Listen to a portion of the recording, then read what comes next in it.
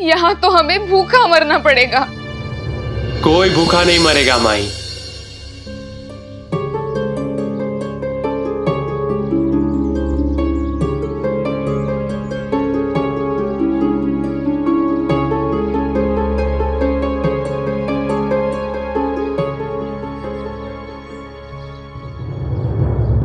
मैं खाना लेकर आया हूँ। आप बच्चों को खिला दीजिए। कहा था ना तुम्हारी और मदद नहीं चाहिए हमें। मदद नहीं फ़र्ज़ निभा रहा हूँ। बच्चे भूखे हैं। अगर उन्हें खाना नहीं मिला तो बीमार पड़ जाएँगे।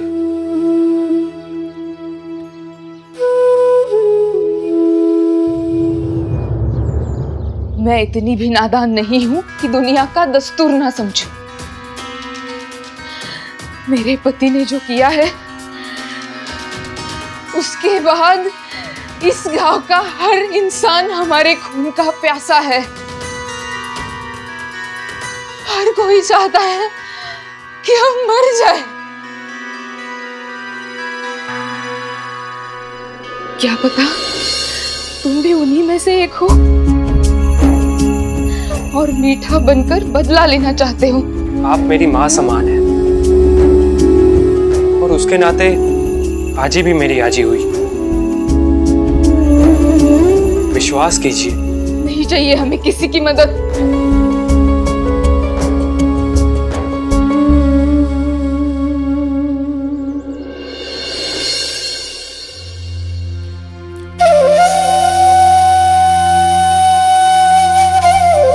नहीं चाहिए किसी के भी ऐसा। नहीं रहा किसी पे भरोसा।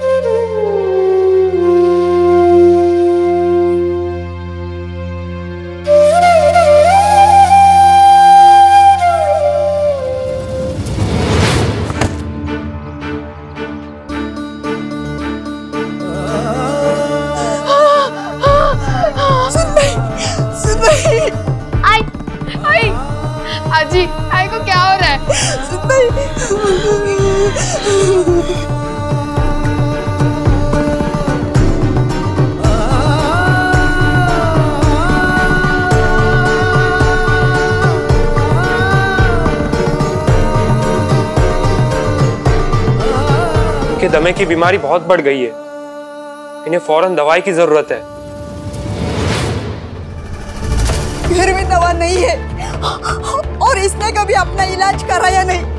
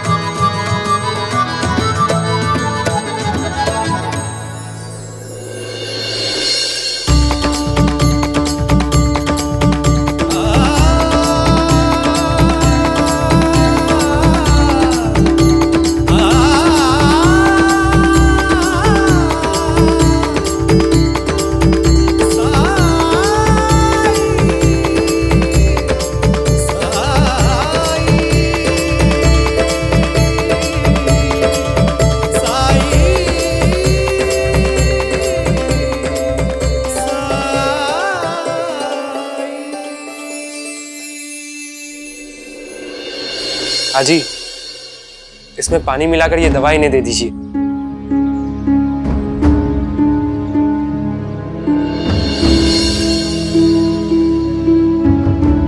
ये दवा है ये तो राख है। ये उदी है हाजी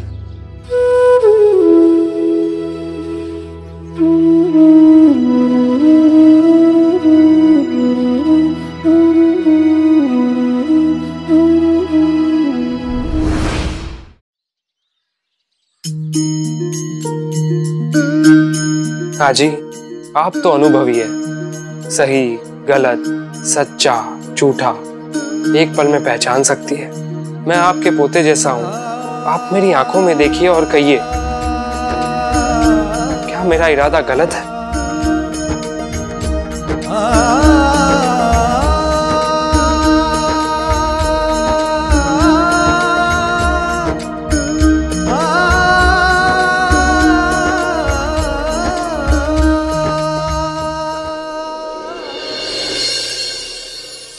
सोमू तू पानी लेकर आ।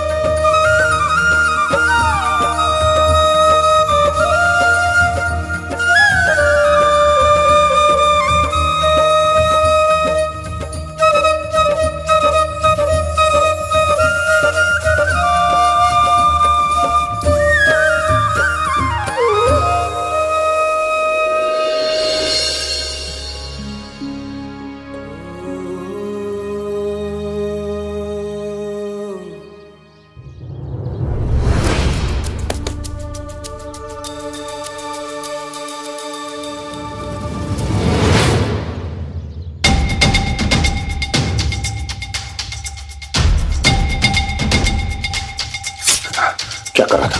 बोल।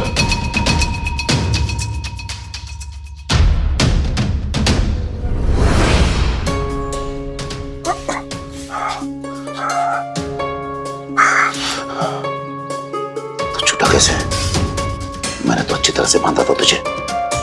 मेरे पैरों में क्या कर रहा था तू? तुम्हारा दर्द मुझसे देखा नहीं गया सुभान इसलिए उदी लगा रहा था। इससे तुम्हें आराम मिलेगा। तू आज़ाद कैसे हुआ? मेरे बंधन से छूटना असंभव है फकीर। बोल।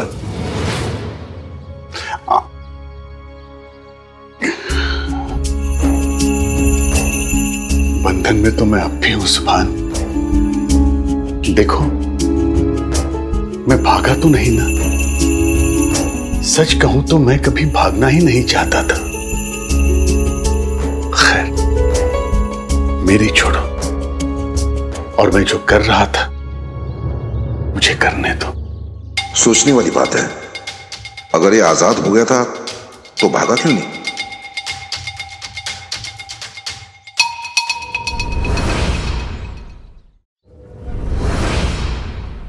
इसके पीछे भी साजिश होगी। ये जानता था कि ये एक हाथ से दरवाजे की कड़ी नहीं खुल पाएगा। कोशिश की तो आवाज़ होगी, जिससे तुम जाग जाते। और ये अपनी जान से हाथ धो बैठता। समझो शुभान समझो। ये तुम्हें मक्खन लगा रहा ताकि तुम खुद इसे जाने दो। इसकी सहानुभूति दिखावा है, दिखावा। पाखंड है ये, पाखंड। जरा तुम खुद ही सोचो, तुमने इसे बंदी बनाकर रखा। और ये तुम्हारे साथ अच्छा बर्ताव क्यों करेगा? अच्छा दिखाकर छुटना चाहता होगा।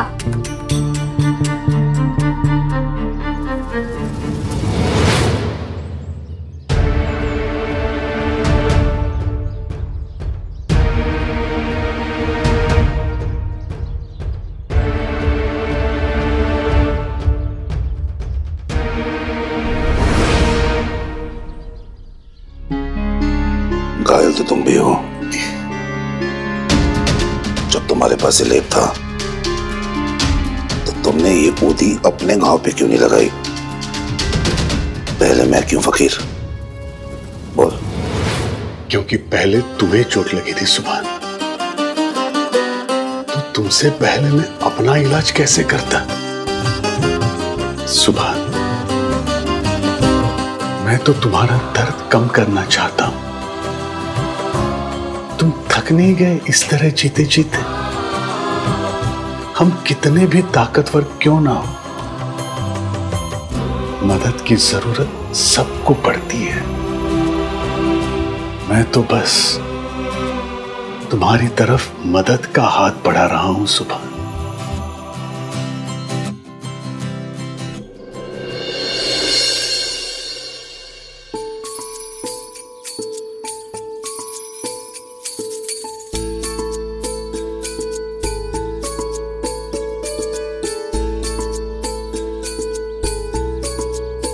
लड़का भला इंसान है सुन भाई।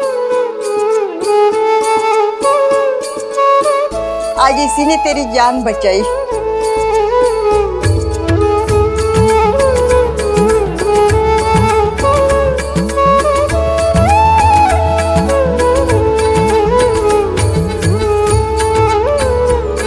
समझ नहीं आता। जब सारा गाँव हमारे खिलाफ है तो तुम हमारी मदद क्यों कर रहे हो? सब रिश्तों से बड़ा रिश्ता इंसानियत का मानता हूँ। और उसी नाते मदद कर रहा हूँ आपकी। एक वक्त पर मैं भी भूखा था। और किसी ने खाना खिलाकर मेरी मदद की थी। बस उसी कड़ी को आगे बढ़ा रहा हूँ।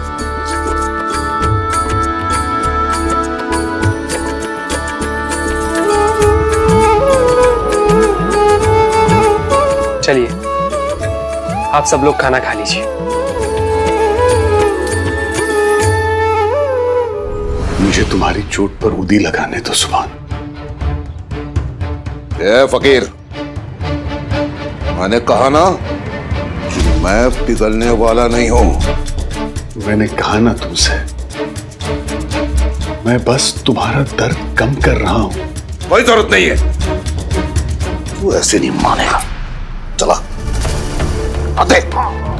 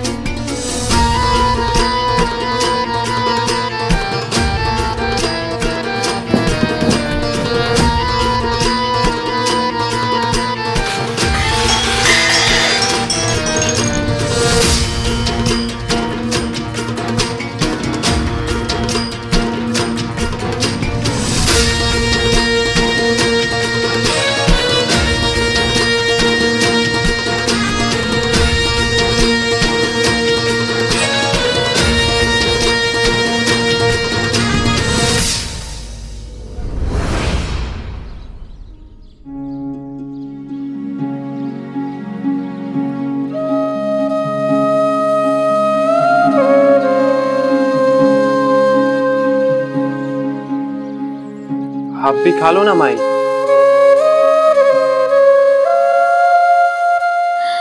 पता नहीं, उन्हें खाना मिला भी होगा कि नहीं।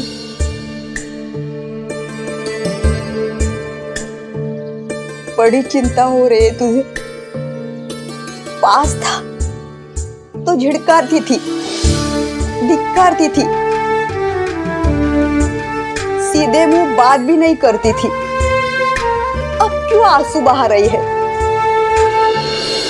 जी। पत्नी होने के नाते इन्हें बेपनाह प्यार था अपने पति से, और आज भी है। तभी तो अपने पति को नहीं छोड़ा कभी। बस उनके कुछ तरीकों से नाराज़गी थी, और वो सही भी है। और अगर प्यार ना होता तो ये आपके बेटे को कब की छोड़ के चली जाती?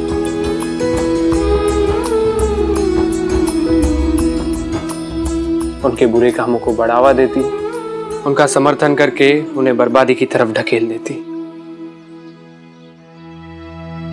मुझे माफ़ करना सुन भाई मैं जानती हूँ, तुमने जो किया वो उसके भले के लिए ही किया। पर दिल जलता है तो जली हुई बातें ही निकलती है।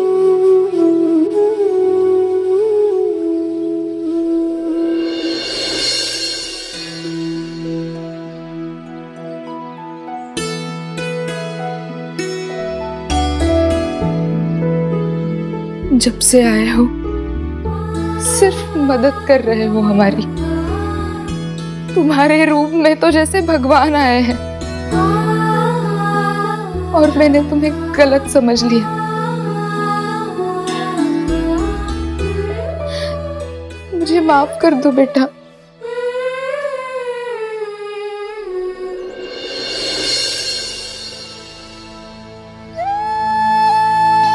आई कभी बच्चों से माफ़ी मांगती है क्या?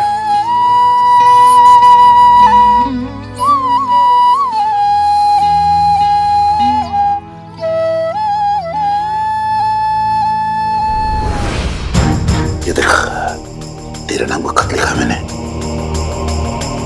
लिखा है कि तुझे शिरडी से बाहर जाना और मैं तेरे साथ चलूँगा। और अगर किसी ने भी रोकने की कोशिश की तो उसका अंजाम तुझे भुगतना होगा। मुझे कुछ हुआ ना फकीर तू भी मरेगा। बस इस चिट्ठी को बाहर फेंकना है और मौका देखते निकलना है। कब तक खुद से भागोगे? आत्मसमर्पण कर दो सुभान। राम जी बड़े दयालु हैं। वो तुम्हें माफ़ कर देंगे। कह दी अपनी मन की बात। खुल गई योजना। ये तुम्हें अपने शब्द जाल में फंसाकर आत्मसमर्पण करवाना चाहता है। ताकि लोग इस फकीर का गुणगान करें। और लोग इसके भक्त बने। भक्ति करें।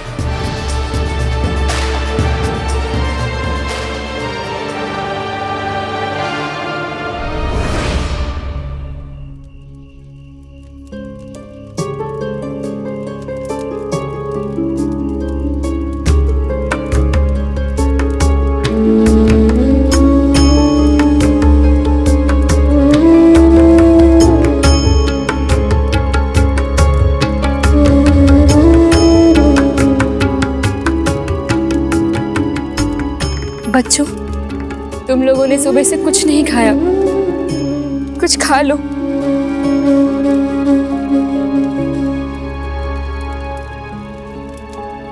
साई अंदर भूखे प्यासे होंगे। हम यहाँ कैसे खा सकते हैं?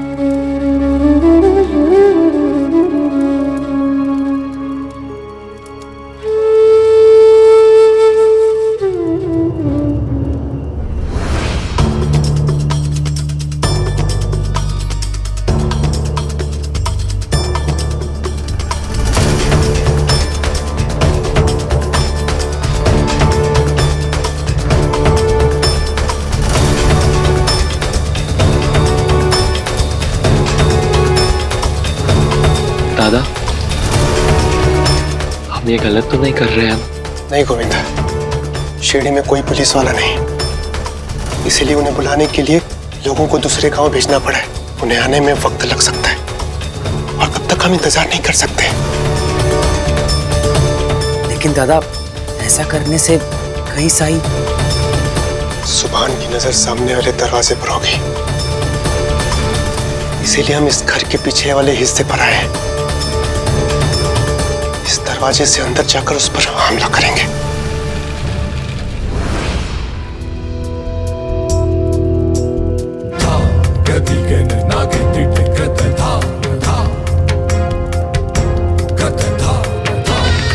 हरिओम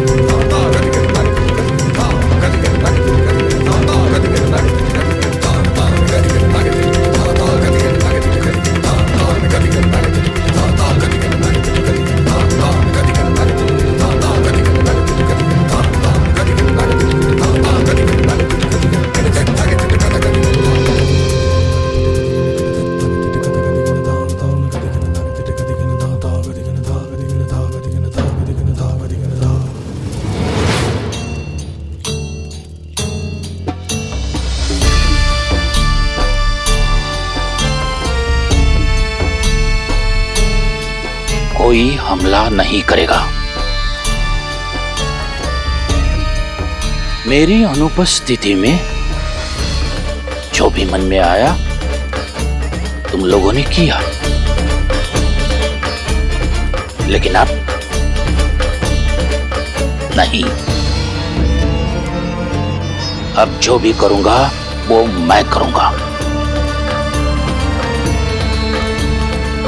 कुलकर्णी सरकार।